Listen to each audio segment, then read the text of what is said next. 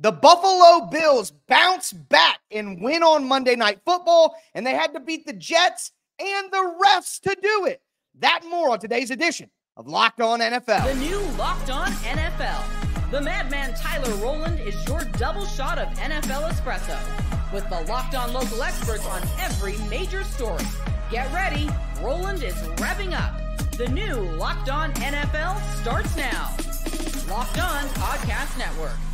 Your team every day.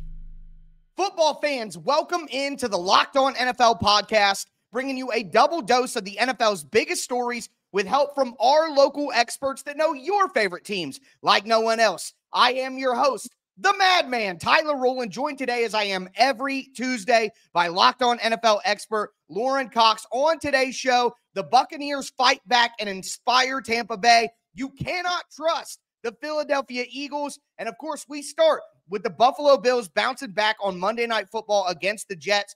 Do want to thank you for making Locked On NFL your first listen of the day and for being an everydayer here with us at the Locked On Podcast Network, where it is your team every day. Today's episode is brought to you by Game Time. Download the Game Time app, create an account, use the code Locked On NFL for $20 off your first purchase. Lauren, I'm not going to bury the lead on this one. The Buffalo Bills beat the New York Jets 23 to 20 on Monday Night Football. But the big story for me was the terrible officiating. I said it at the beginning of the show, and I absolutely mean it. It felt like the Bills had to beat the Jets and also beat the refs with the bad roughing the passer call, with some of the ticky tack pass interference stuff going on. It was really unbelievable to see the amount of penalties that were called in this game. Well, it was 11 penalties for each team. And, and I'm left Ooh. feeling like, you know, if, if I'm the if I'm a Jets fan, when the Jets are trying to drive down at the end to win the game, holding penalty here, uh, passing, you know, an eligible receiver downfield here, like the referees kept getting in the Jets' way a little bit to it, and by the end, it felt more like a Thursday night football game than a Monday night right. football.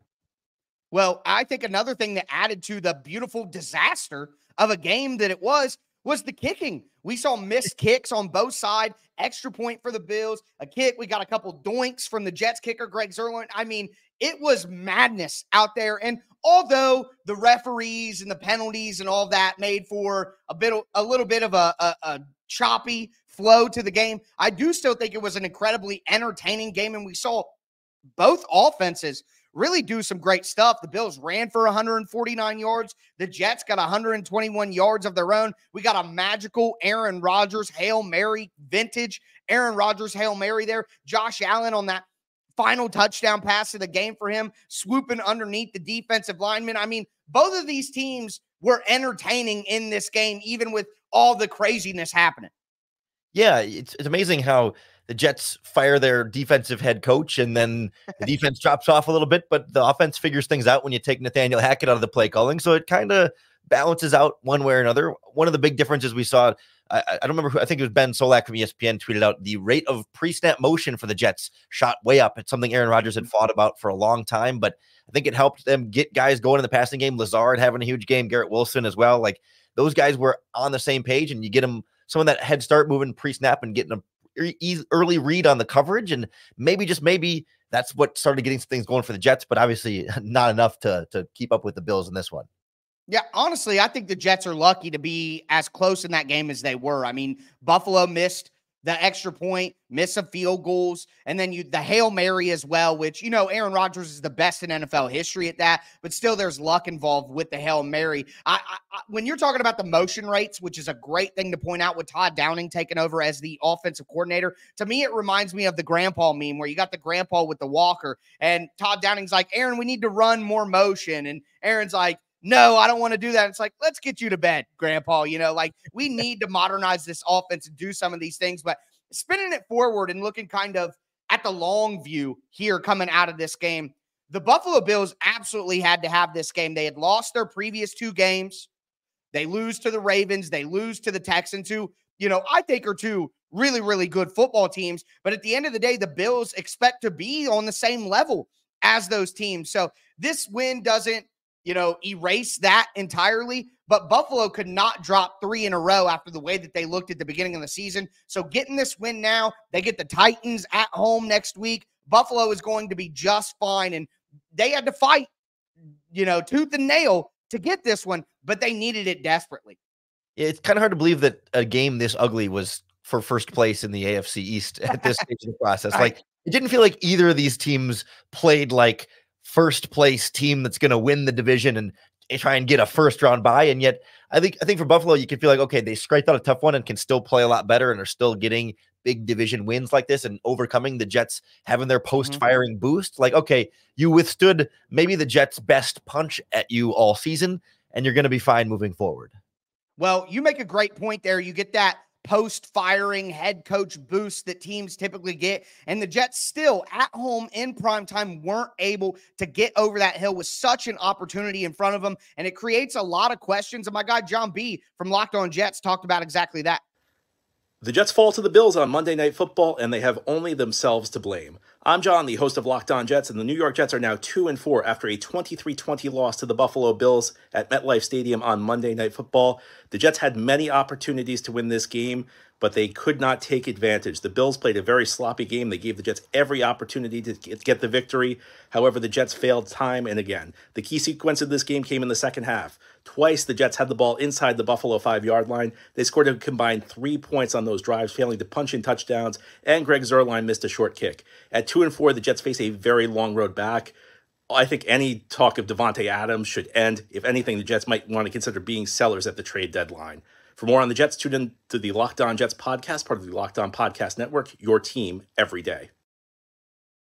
I just got to say, I, I love my guy John, but I disagree entirely. And a lot of it has to do with the New York Jets schedule. They play against the Steelers next week, and the Steelers are a good team. We're going to talk about them here in a second, but the Steelers aren't unbeatable for the Jets. And after that, they get the Patriots, that's absolutely a game the Jets win. And then they play the Texans. That's probably going to be a loss for the Jets. The Texans are a great team. But then Cardinals, Colts, Seahawks, Dolphins, Jaguars, Rams, and then they play the Bills again and then finish with the Dolphins. I mean, there's no reason that the Jets can't reel off seven or eight wins in a row with that schedule coming forward. So I would absolutely still be in the Davante Adams conversation if I'm the Jets. You can't give up on the season right now. I agree that I don't think they should, you know, wave the white flag and give up on the season just yet. But I don't know, is is Davante Adams the cure to what the Jets need right now? When when you finally have Allen Lazard having the big game, connecting with Aaron Rodgers and Garrett Wilson obviously has another big game. Like it didn't feel to me like the problem tonight was wide receivers necessarily. Like the mm-hmm. offense, not that we could just assume, all right, it's fixed for the rest of the year, but like they made enough progress on that side of the ball that I'm not sure I'm so desperate to go to go get Davante Adams just yet. And maybe I look around and say, can I make this defense even a little bit better? Is there is there more I can do to help this team rather than just get one of Aaron Rodgers' best buddies, who will certainly help, but not like I don't know that wide receiver it remains the biggest biggest need, but it is still an area you could improve the team, I suppose. Well, one thing that I would say is the Jets were one and four in the red zone in this game, and the connection between Aaron Rodgers and Davante Adams, I think, would probably help in in that area of the matchup. But I think it's fair to wonder whether that would be enough to to change things. But I think that at this point, they either need to sell or they need to buy all the way in. And looking at that schedule, I would buy all the way in. But speaking of a team that I'm not buying all the way in, the Philadelphia Eagles, they may have bounced back this week, but I do not think that you can trust. And we'll talk about that and some other bounce back teams from week six. It's Locked On NFL, part of the Locked On Podcast Network, your team every day. Today's episode is brought to you by FanDuel Sportsbook. NFL fans, yes, I'm talking to you. NFL fans, you could start the second quarter of the NFL season with a big return on FanDuel, America's number one sportsbook. When you get a hunch in the middle of the game, go over to FanDuel. You can check out the latest stats, view live play, play by play, and so much more on the same exact place where you do your bets. So it's all right there on the same page for you, an all encompassing hub of football information on FanDuel. And right now, you'll get started with $200 in bonus bets guaranteed when you place your first $5 bet. And if you're looking for something to place that $5 bet on, I'll just remind you that if you listen to FanDuel Friday with me and Ross Jackson, every single bet that I offered up on FanDuel Friday hit this weekend. So make sure that you go to America's number one sports book. It's FanDuel, and you can do it at fanduel.com. Today's episode is also brought to you by Prize Picks. Prize Picks is the best way to play daily fantasy sports. That's why they have over 10 million members and have awarded billions of dollars in winnings.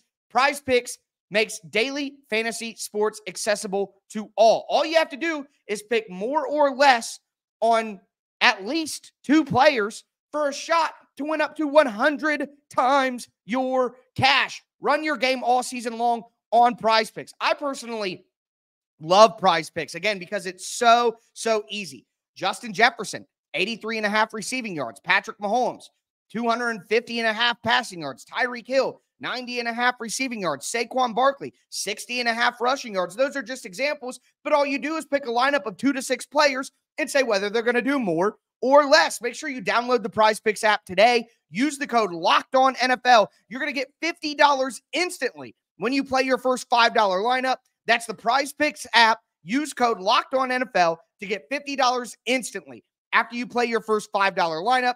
It's Prize Picks. Run your game.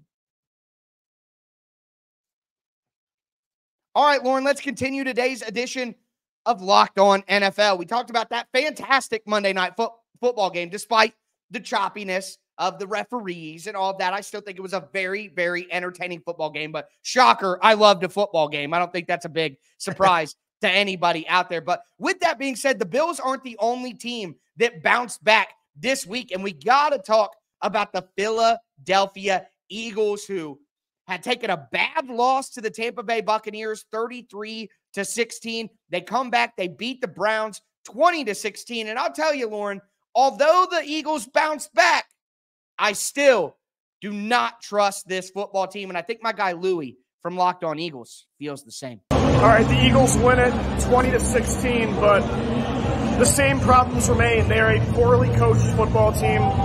They had a bye week to prepare for one of the worst teams in the league, and they barely win by four points. But man, this is a talented roster. AJ Brown, DeVonta Smith, two of the most clutch players in football. Huge plays in the fourth quarter to win this football game. Thank God they're back. I don't know. Maybe the talent this roster has is enough this year in such an up and down league. But overall, the main problems for long term remain the same. Because of this win, I'm not going to really change my mind. But at three and two, feels a lot better than two and three for sure. The pass rush today stepping up. Hats off to Brandon Graham. 200 games in, remains as clutch as he ever was. We'll see what happens next week, but typical toxic Eagles. Go Birds. Toxic Eagles. I love that from Louie from Locked On Eagles. But yeah, I think the reality is they only won this game because they have freaks. They like they are so top heavy with some of the good players they have. AJ Brown, six for 116 and a touchdown, some insane catches. DeVonta Smith makes a big 45 yard touchdown, three catches, 64 yards, and a touchdown. Like the Eagles only win these games because they have such great, like top level players. But I agree, the coaching is so suspect. I don't care that they're a winning record team right now. I do not trust the Eagles whatsoever in any kind of big game environment. Yeah, I'm with you there. That that a four point win over the Browns is not something that inspires Jeez. any sort of significant confidence in this team. I mean, I, I do want to give them some benefit of the doubt. I mean, they're they're a young secondary, and the, a lot of their players are you know guys that are on rookie contracts that you think are still slowly kind of getting better and settling into their own of, of who they are in this league. Plus, you add in the veteran talent. Like there's there's enough there to feel like I mean they in that division they should be able to compete with a lot of the other teams that you don't trust in that division. That somebody has to win it and somebody has to make the playoffs in that group. And I'm I'm not sure that I have a ton more confidence in the rest of that group. Even Washington, I still have my doubts about just how trustworthy they are. Even though Jayden Daniels is playing great, I, am curious how sustainable that's going to be for them either. What are your doubts with the Washington Commanders at this point? Because I feel very confident that the Commanders are the best team in that division. What do you think could be coming down the line that could maybe rattle that confidence? I, I, feel like Washington hasn't really beaten anybody all that impressive. Giants, Bengals, Cardinals, Browns, okay. And yes, Jayden Daniels has been playing great, but uh, over the course of a rookie season, defenses are going to adjust and the commanders are going to have to adjust back. And their offensive coordinator is a guy who has a pretty bad history of starting really hot just like this and then trailing off, whether it was with the Arizona Cardinals as head coach or back mm-hmm. at Texas Tech as well. You can look year by year They'll start three and one, four and one, five and one, six and zero, oh, and then they'll finish the year 0 and 5, 1 and 4, 2 and 3, and, and have these big drop offs later in the year for the team. So it seems like they figure out something right away that the league has trouble adjusting to. And then once they adjust, there's not really that counter adjustment back. So I'm kind of waiting for the, the, commanders to play some good teams or at least some good defenses like the Bears and the Steelers and the Titans on their schedule. And maybe things fall back down a little bit and that, that division looks a little murkier. Mm, very, very interesting, Lauren. Well, let's stay in the Keystone State of Pennsylvania because the Pittsburgh Steelers bounced back in a major way on Sunday as well, dismantling the Las Vegas Raiders 32 to 13. My guy Chris Carter from Locked On Steelers broke down the win. Chris Carter here from the Locked On Steelers podcast with your post-game reaction to the Steelers beating the Raiders 32 to 13 in Las Vegas. It was the most confident looking win the Steelers had all season without a doubt. Najee Harris going off 14 carries for 106 yards and a touchdown. Justin Fields adding two rushing touchdowns himself. Though the Steelers didn't do too great in the air, the ground game was there and it was able to punish the Raiders as the game went on. But also the defense dominant. Though they did give up an opening touchdown drive, defense comes out and creates three turnovers, looks dominant throughout. TJ Watt forcing two fumbles, both get recovered. Donte Jackson also getting getting an interception, also almost got another inter- interception. But this was the best the Steelers have looked all season long. The question is, can they start to learn things from this moving forward? Also, Justin Fields' legs, is that enough to keep away Russell Wilson's arm? We'll talk about that on the Locked On Steelers podcast. I'm your host, Chris Carter. Tune in wherever you get podcasts. I, I, personally understand that it's the Raiders. Like we're, you know, the Raiders, I think at the end of the day will end up in the bottom three of the NFL, despite them not being right there record wise right now. That train is going off the tracks fast. But I will continue to believe in the Steelers. And I don't mean as a playoff contender, but as a team that will make the playoffs. I think the Steelers finish with a winning record because at the end of the day, they're going to play Steelers football. And that's exactly what they did here. Win the turnover battle three to nothing, 183 rushing yards as a team. That is Pittsburgh Steelers football. And I don't care whether it's Justin Fields or Russell Wilson. Mike Tomlin is going to be able to get them to do that. They're going to lose those ugly games like they lost against Dallas, but they're going to absolutely dismantle any team that isn't close to their level, like the Raiders. That's what Mike Tomlin guarantees for you. I believe in the Steelers way more than I believe in the Eagles when it comes to making the playoffs this year. I'm with you there in that every time you have a Mike Tomlin coach team, I, I think you're going to make the playoffs. But I'm mm-hmm. I don't have faith in the Steelers as like first place in the AFC North as they stand right now. It just feels weird to me that like a team who we're still not sure who the better quarterback is going to be for them is the team that like we're supposed to have all this faith in. Like they had this great bounce back game. Chris said like the best they've looked all season against the Raiders, and their quarterback had 145 passing yards in that game. Like that doesn't feel like big sustainable long term success there. Like they're four and two right now, and I think Mike uh, Mike Tomlin will keep them around a nine and eight team. So that leaves them, you know, five and six the rest of the way. And that feels about right. Like, okay, that's not a great team, but it's good enough to make the playoffs. And maybe they switch quarterbacks. But I don't know. It feels like good, but not great. And that Baltimore and Cincinnati over time, in theory, should establish themselves a little bit farther ahead of Pittsburgh, at least in terms of the quality of team you trust in the playoffs. Lauren, I don't believe in the Steelers because of the quarterback. It's the Mike Tomlin magic defense run game and they're going to have that and they're going to be 5 and 2 next week and we're all going to be asking ourselves how is this happening? But it's happening once again and Mike Tomlin keeps getting away with it. But again more bounce back teams in week 6 the Tampa Bay Buccaneers not only bounce back in their season but they get off the mat and inspire the Tampa Bay region which obviously has been hit hard with weather in recent weeks. So we're going to talk about them and the Indianapolis Colts who just keep on chugging along as well. It's Locked On NFL, part of the Locked On Podcast Network, your team every day. Today's episode is brought to you by Game Time. Game Time is the best place to buy tickets, period. Why? Because they have the best features in the entire industry. And now they just got a brand new feature that makes game time even better. It's called Game Time Picks, and it makes getting tickets to see your favorite teams play even easier. Game Time Picks filters out the fluff to show you only incredible deals on great seats so you don't have to waste time searching through thousands of tickets. I bought football, basketball, baseball, concert tickets on game time again because they have great features. They also have a view from your seat. You literally get a panoramic view of what you're going to be looking at when you sit down. And if you toggle on the feature in the app, they're going to give you all in pricing. So the price that you see is the price that you pay at checkout. Take the guesswork out of buying tickets with game time picks. Download the game time app, create an account, use the code locked on NFL for $20 off your first purchase. Terms apply. Again, create an account, redeem the code L O C K E D O N N F L for $20 off. Download game time today. What time is it? Game time.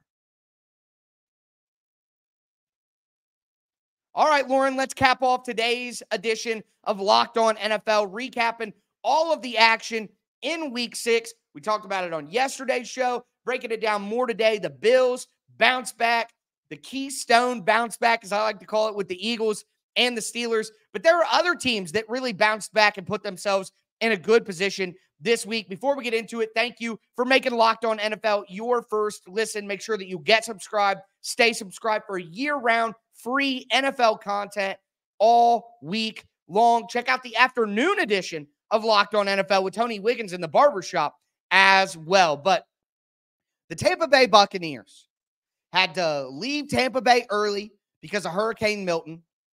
The state of Florida already got hit by Hurricane Helene. I mean, just hellacious weather for the state of Florida in recent weeks. And the Tampa Bay Buccaneers unaffected go into New Orleans and dominate 51 to 27. Now, I say dominate, and I don't think that's fair, actually, because that game was crazy back and forth. Tons of scoring. Tampa Bay goes up way early, gets down again, and then absolutely throttles the Saints in the second half. And my guy, James Yarcho from Locked On Bucks talked about that turnaround. Three interceptions in the second quarter, but to open up the second half, that Godwin touchdown got things back to normal and it really dialed Baker 100% back in. After that, the Buccaneers scored on three of their last four possessions, thanks in large part to the running game that we're going to talk about more in a little bit. But getting that lead back after such a disastrous quarter really galvanized the team as a whole. It was a huge bounce back after Mayfield had more interceptions in one quarter than he had all season coming into this game. He still finished with four touchdown passes, which is a season high this year. He had two in each half, and his touchdown to interception ratio dropped from five and a half to one to three to one. But that's still pretty good. You know, you can kind of look at that second quarter as an anomaly. See, I don't think it's fair to say the second quarter is an anomaly. I think they're two faced Tampa. That's what I'm calling them. Like they bounce back from the 36 to 30 heartbreaker against Atlanta when they're leading in the fourth quarter and they just lose that game in overtime. But that's the up and down nature of Baker Mayfield. Like that's what you're going to get from Tampa. So I think that Tampa, when they're hot, are one of the best teams in the NFL. But the inconsistency of the Buccaneers and Baker Mayfield, uh, it, it makes Tampa Bay a team that I don't necessarily trust it's something you got to live with with Baker for sure. And but I think of all the bounce back teams we're talking about today, this is the team I think I have the most confidence mm. but I don't think okay. that's going to be rewarded right away. I think things are going to get worse for Tampa before they get better because the next four games are Ravens, Falcons, Chiefs, 49ers, and then Ooh. they get their bye week. That's going to be rough. But coming out of that bye week, they're, they're going to drop to second or third in the division, and, and people sure. are going to be panicking about the Buccaneers. But you come out of that with Giants, Panthers, Raiders, Chargers, Cowboys, Panthers, Saints. And this to me is a team that could get hot at the end of the season with a pretty bad schedule and ride that Baker Mayfield heat into the playoffs and feel like this could be a team that's dangerous by year's end, but are still going to go a little bit farther down the Baker coaster here before we get to the yeah. bottom. And then things are going to take off again. Well, it's funny because last year they were, you know, going up against the Eagles, and a lot of people had the Eagles to win that game and and Tampa Bay came in there and got it done. So it could be a similar situation where because of the tough middle of the season that you described that they're about to go into people could underrate them and then they go into the playoffs and knock off somebody maybe an NFC North team because how many NFC North teams are going to get into the playoffs man like just absolutely crazy over there in the NFC North but yeah I, I could see what you mean by them getting hot with that sort of schedule at the end. Now another team that I do want to mention here is the Indianapolis Colts They lose to the Jacksonville Jaguars 37 to 34 in an absolute shootout. Jacksonville is one of the worst teams in the NFL, and it's kind of a shocker that the Colts lost that game, but they bounced back on the road against the Tennessee Titans. The Titans were coming off a bye, the Titans were at home. The Titans have a good defensive front. The Colts defense got absolutely shredded by the Jacksonville Jaguars, who have been pretty inept in most of their other games, generally speaking.